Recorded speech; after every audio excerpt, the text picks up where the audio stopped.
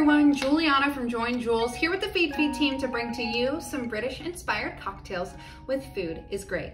Now our British inspired cocktail is gonna be a ginger whiskey smash.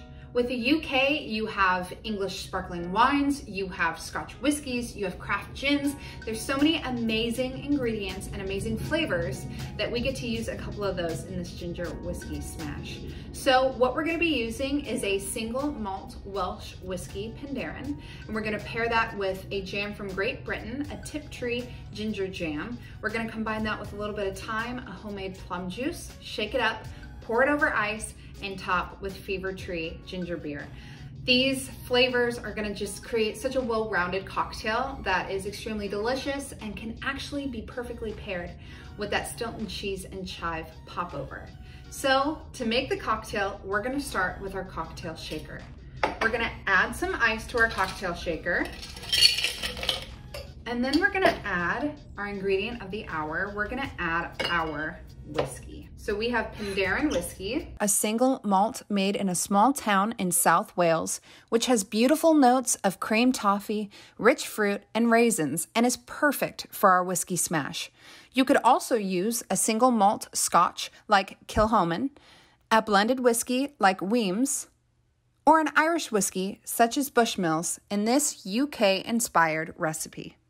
We're gonna be doing two ounces of whiskey into our cocktail shaker.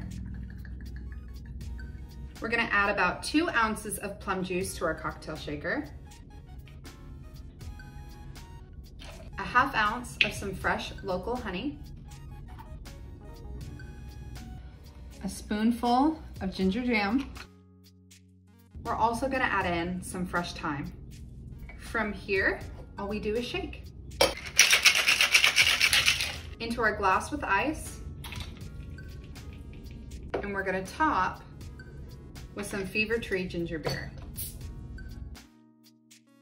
And to garnish, I'm gonna take a fresh thyme leaf and just put it right on top. And that's all it takes for a ginger whiskey smash. It's that simple, but remember, I always say fresh is best. So if plums aren't fresh and local to you, use what is. Use what's fresh and use what's in season near you. It just will enhance those delicious flavors that we used that much more.